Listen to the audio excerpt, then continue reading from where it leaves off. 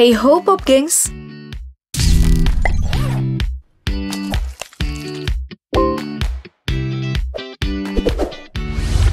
Pasti kamu tahu dong nama-nama penemu seperti Albert Einstein, Thomas Alva Edison, atau Nikola Tesla.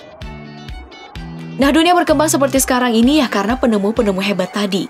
Tapi tahu gak sih kalau di Indonesia juga punya penemu handal yang udah banyak membantu orang-orang di dunia ini.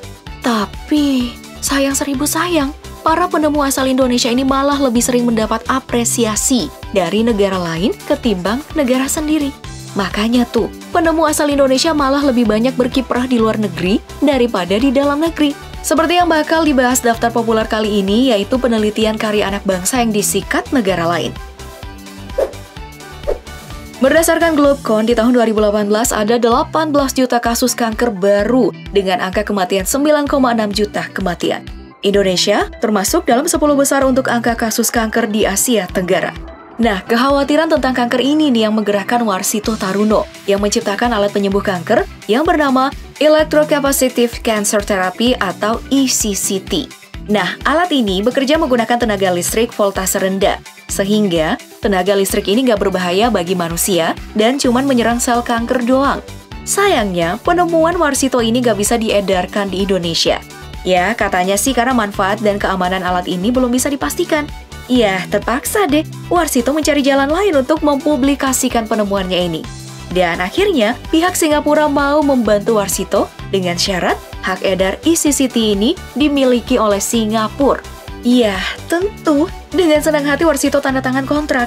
Nah, ini nih yang jadi masalah. Penemu Indonesia kok diragukan ya di negeri sendiri? Kalau udah terlanjur diambil negara lain, gimana dah tuh?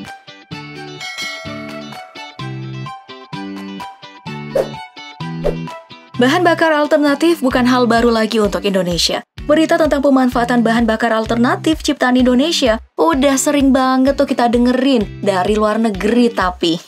nah salah satu yang paling terkenal di luar negeri nih, ya kompor biomasa karya Nur Huda. Nah, ia menciptakan kompor biomasa karena kekhawatirannya akan ketergantungan dengan gas LPG.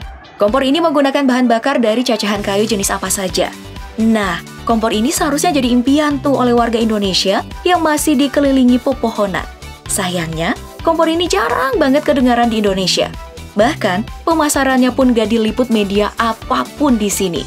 Beda halnya di Norwegia, di mana pemerintahannya bahkan memproduksi kompor ini secara massal untuk menekan ketergantungan warganya dengan bahan bakar fosil.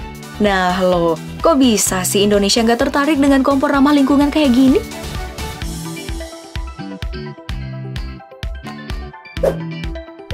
Pasti tahu dong mobil Tesla milik Deddy Corbuzier yang viral kemarin? Nah, mobil Tesla seharga miliaran rupiah ini digadang-gadang jadi mobil listrik terkece di dunia saat ini. Hmm, ngomongin soal mobil listrik, tahu nggak sih kalau di Indonesia ada juga loh pengembangan mobil listrik. Nah, kenal ini Ricky Elson dan mobil seloknya. Nah, Ricky ini sempat bikin geger dengan penemuan mobil listrik di tahun 2013 lalu. Bahkan saat itu banyak media yang memberitakan kalau mobil ini bakal naik produksi tahun 2015. Tapi, sampai tahun ini, kok mobil Selo nggak ada yang produksi ya? Nah ternyata, Selo dinyatakan tidak lolos ujian emisi dan dinyatakan nggak layak produksi waktu itu. Katanya sih, karena mobil ini belum bisa dipastikan keamanannya. Nah, seiring berjalannya waktu, mobil listrik ini malah bakal dibeli Malaysia. Ya, ya, ya, kita tunggu aja deh. Kalau beneran diklaim Malaysia, baru keluar-keluar lagi deh tuh.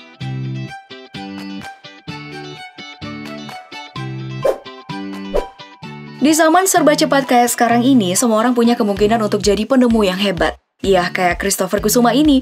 Siapa sangka bocah SMA ini berhasil menarik perhatian Google karena penelitiannya tentang kompresi data yang memungkinkan untuk meminimalkan ukuran data. Nah, penelitian ini diawali dengan kebiasaan Christopher mendownload game dan sering kehabisan kota. Nah, muncul deh tuh pemikiran, gimana ya kalau ukuran datanya lebih kecil? Dimulailah penelitian bocah ini tentang kompresi data. Tapi yang namanya penelitian pasti butuh dana dong ya. Setelah membuat proposal dan mencari dana ke sana kemari, bocah ini hampir menyerah karena penelitiannya sering banget ditolak di Indonesia. Hingga akhirnya, malah Google yang mengundang anak ini untuk mempresentasikan hasil penelitiannya. Wow,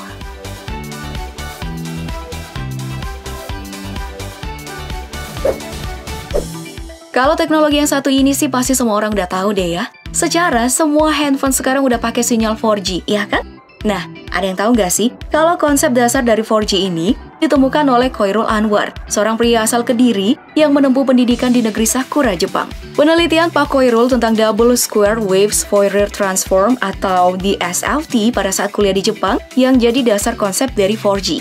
Wah, Andai aja Indonesia duluan sadar ya dengan hal ini, pasti Indonesia udah jadi salah satu negara dengan perkembangan telekomunikasi yang sangat maju.